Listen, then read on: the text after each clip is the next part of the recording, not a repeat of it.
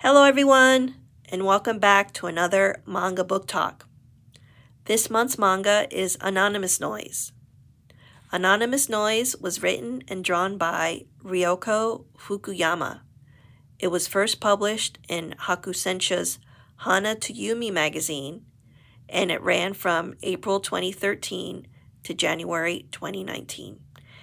In the United States, Anonymous Noise is published by Viz Media's Shoujo Beat imprint. For those of you familiar with manga terms, you will know that shoujo or shujo means girls. So without further ado, let's talk about anonymous noise. Spoilers ahead. Nino Arisugawa and Momo Sakaki have been best friends and next door neighbors since they were toddlers. Nino's parents fight a lot, so she seeks solace by singing with Momo at the top of her lungs. They're often teased for their relationship, but neither of them care about what others think because they have a true friendship. Unfortunately, all of that is shattered when Momo's family moves away abruptly and without warning in the fifth grade.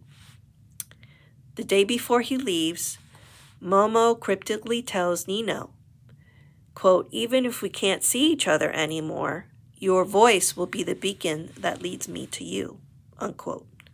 She is so devastated by losing her best friend that she wears a face mask to keep from screaming out in grief. One day after school, Nino goes to the beach to sing, scream her heart out. There she meets Kanade Uzuriha, aka, aka Uzu. She has inadvertently stepped all over a musical composition, composition he has written in the sand. Nino sings the song out loud, and Uzu is immediately smitten by this absent minded but gifted girl. He renames her Alice and offers up a scarf to wrap around her neck to protect, her voice. He tells her to come back the next week to try out, try out another song he's written. This continues on for a couple of weeks until Uzu, sadly enough, seems to disappear as well. Will Nino be able to move on from her sadness now that her two good friends have left?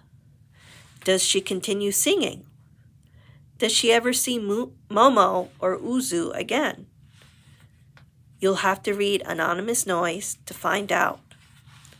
All 18 volumes are available to check out from our young adult department, which is located on the second floor of the Allentown Public Library.